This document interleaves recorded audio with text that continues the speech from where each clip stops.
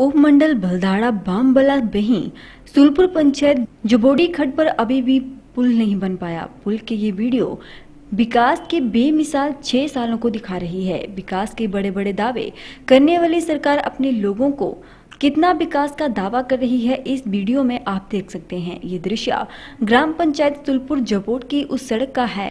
जो 2014 में बाढ़ में बह गई थी और पिछले छह साल से पंचायत के लोग लोक निर्माण विभाग द्वारा खड में जो टेम्परेरी सड़क बनाई जाती है उससे अपने रोज़ाना के काम काज के लिए इस्तेमाल करते हैं। विधानसभा और लोकसभा इलेक्शन में लोगों से वोट बटोरने के लिए इसको बनवाने के वायदे भी किए गए, पर सरकार बनते ही किसी भी नेता को यहाँ के लोगों और उनकी ज़रूरत की याद नहीं रहती। हर साल बरसात के शुरू होते ही सुलपुर पंचायत के लोग मेन रोड से कट हो जाते हैं। लोगों को यहाँ के मेन बाज़ार जाहू जाने के लिए 12 किलोमीटर की दूरी तय करनी पड़ती है, जबकि यहाँ के लोगों को।